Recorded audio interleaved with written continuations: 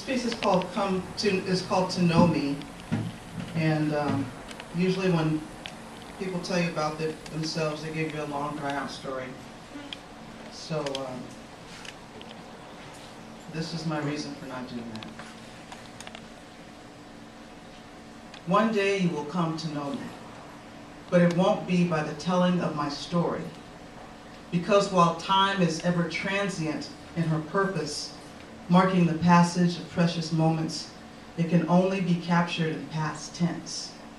And like a freeze-frame photograph, my story exists only in the extinction of years gone by, never to be reborn. And while so many embrace their story as who they are, and always will be, their presence may crack and fade like an old book long forgotten, its magic lying dormant on its pages unexpressed. And though a photograph can capture a memory, a moment of beauty or emotion, or record a tragedy, it is still just a visual depiction of the past, never catching up with ever-moving time. It can't capture the smell of a rose, or hear a baby's laughter, or feel a loving caress.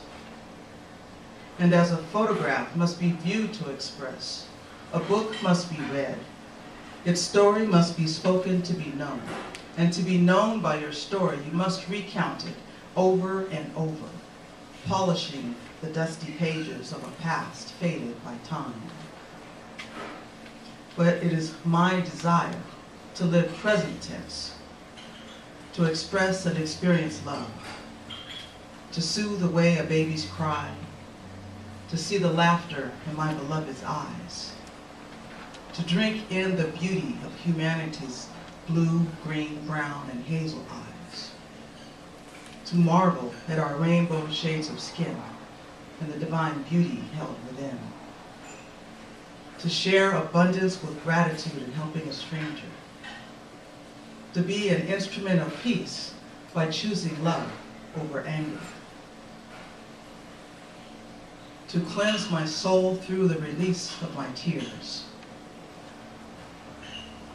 to live inside each note of a symphony, dancing joy with every molecule of my being, to speak future tense into being by authority of my birthright. But only in this present tense of now can I meet you soul to soul, and with the God in me, see the glow of God in you. So as I stand here, naked to my soul, minus the tattered, layered clothing of past tense, I say to you, one day you will come to know me, but it won't be by the telling of my story.